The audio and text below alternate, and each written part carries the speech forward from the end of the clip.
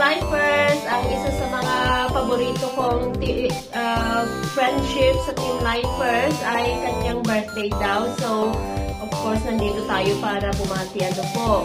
Um, happy birthday, Sisi. Sa, sa lahat ng pangarap mo ay matupad. At syempre, ang aking gift ay on the way na, di ba? Mwah!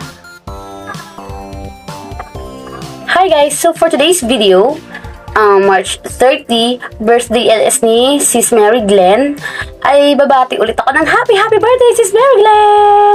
Ganito kasi yon naiwan ang birthday greetings ni Madam Tin. Nag-sending field siya kay Sis Faith at ngayon ko lang. So, eto, um, gumawa ulit ako ng video para ipaalam sa inyo ang aking kaingotan. Hindi ko siya na-check na nag, kung nag-send ba or hindi kay Sis Faith. Kaya hindi siya napasama. Hindi, hindi ko na rin na-double check kasi syempre, ang inyong lola ay isang gala sa YouTube.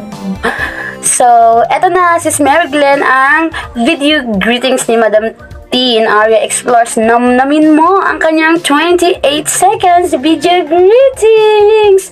Um, sorry, Madam Teen. Alam ko, inabangan mo po yung video greetings niya. So, eto na po. Third premiere birthday greetings of Sissy Mary Glenn Dagutan. See you!